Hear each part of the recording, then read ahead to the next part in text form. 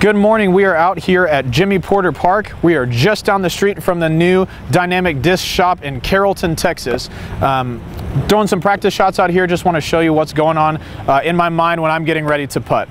So I've thrown my drive here. It's about 22 feet, 20 feet from the basket or so. So I just want to take you through what's going on in my mind.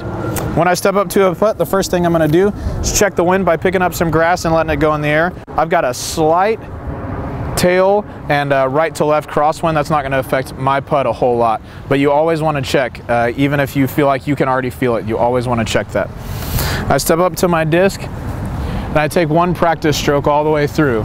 Come on, come on down nice and slowly like I'm going to, and then explode toward the basket so that I can feel what that's going to feel like. And then once I've taken all the other factors into account, I put my mini down and this signals the start of my putting routine. If you don't already have a putting routine, I would greatly encourage you to have one. It can take the pressure out of tournament situations. But this is where it starts my putting routine. I put my mini down and my mini says three phrases that are, that are my phrases that I'm thinking about when I putt.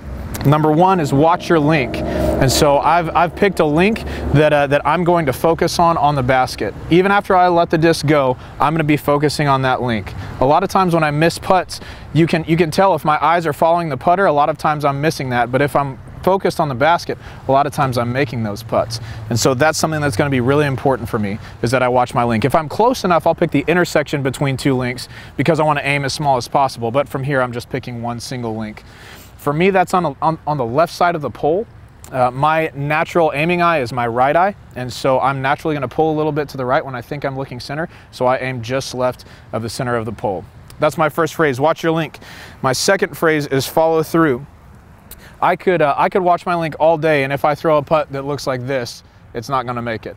I'm trying to get my full follow through just like I've practiced in that practice stroke. And so follow through is vitally important to making putts. And the third phrase on my mini is be confident.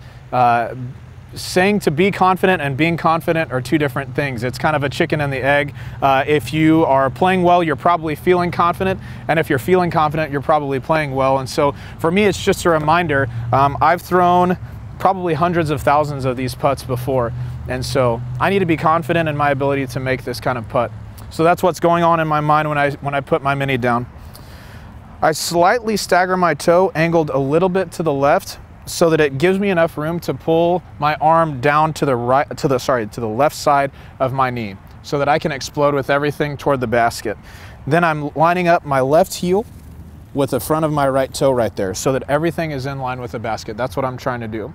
My style is not really a, a push putt that's a real straight arm like that, and it's not really a spin putt. It's kind of in the middle. It's a little bit of a hybrid where I'm giving it enough wrist to get there, but I'm not trying to zoom it in there with a ton of spin.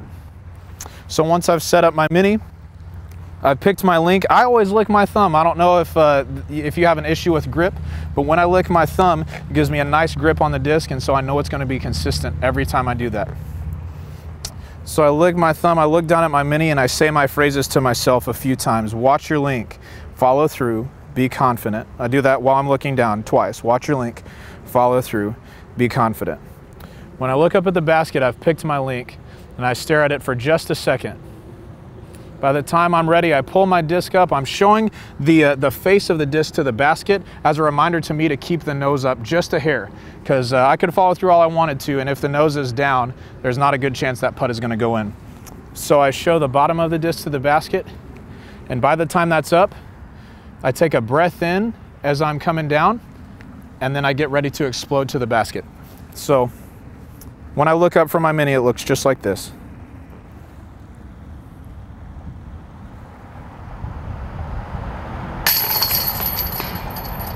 You may be asking why I'm holding my other putter in my hand.